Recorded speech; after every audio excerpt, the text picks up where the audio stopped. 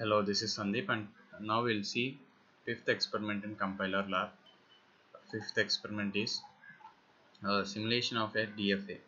Our aim is to uh, simulate the concept of deterministic finite automata and in this we'll be given with a DFA transaction transition table and using that table we have to give the input and the and also the desired input string and if it uh, successfully completes the DFA transmission then it should show the output as yes or else no.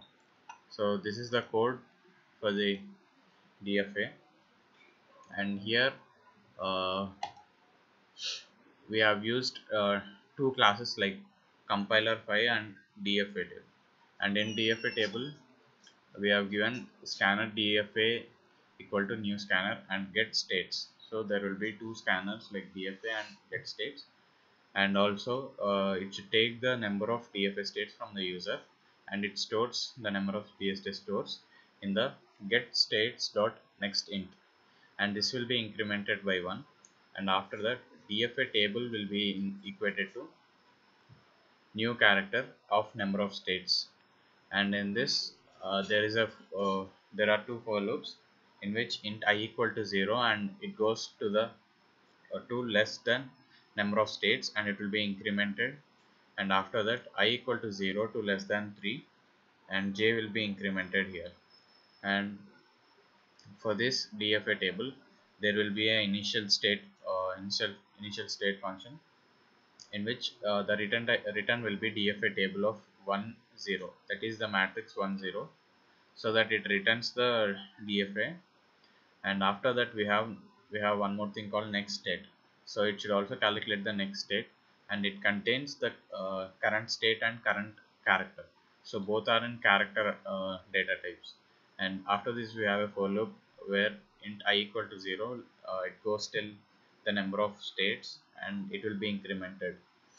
And uh, if current state is equal to dfa table of i i comma 0 and if current character equal to dfa table of 0 1 then it should return the table of i and 1 so it will uh, it, it, uh, it will check every time the dfa table with the current state and the current character and it will re, uh, return the current dfa table. And in the compiler class compiler file class we have uh, all uh, something called algorithm. And in this algorithm we'll give all the uh, current states and input strings uh, so here current state equal to dfa dot initial state. So we have a dfa class. From that class the initial state is taken and it is initiated to current state. And current character also should be taken. So the current character will be dependent on the uh, input string which we have which we give. And while current character is not uh, not equal to dollar that is dollar comes only when it is in the final state. And if it is not equal to dollar then the current state should be move of current state comma current character. So it should move one character or uh, move to the next character.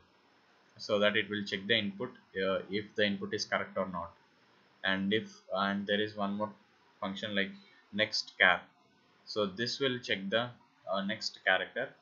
And here we have a if uh, if line character array is equal to null or line array character count is equal to line array character of length then it should return a dollar. That is if it is in the end state it should return the dollar. Else it should be uh, incremented. And then we also have a move function. In this move we have current state and the current character and it will be returning dfa dot next state. So in the next state uh, the things we need are state and the character.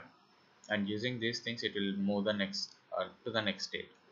And we also have final state uh, checker and it will check for the final state.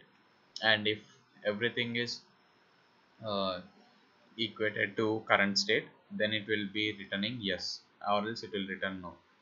Now for the question given here uh, this is the dfa table. And to implement this dfa table in our program uh, we have to first give the number of uh, states number of dfa states. So we have here a b c d. So i have given here number of states as 4 4 and the states are a b c d. And after that uh, here we have uh, two things like small a and small b. Uh, after this each state when a on a it goes to b capital b. And when a on b it goes to capital a. So each thing we have to check and we have to give in the input and after that uh, the desired input should be given. Here I gave the desired input as AABB so according to this DFA table the AABB will be accepted. So in the program when I execute uh, it shows yes. So so after giving the input it shows yes. So the desired input is uh, correct according to the DFA table given in the question. Thank you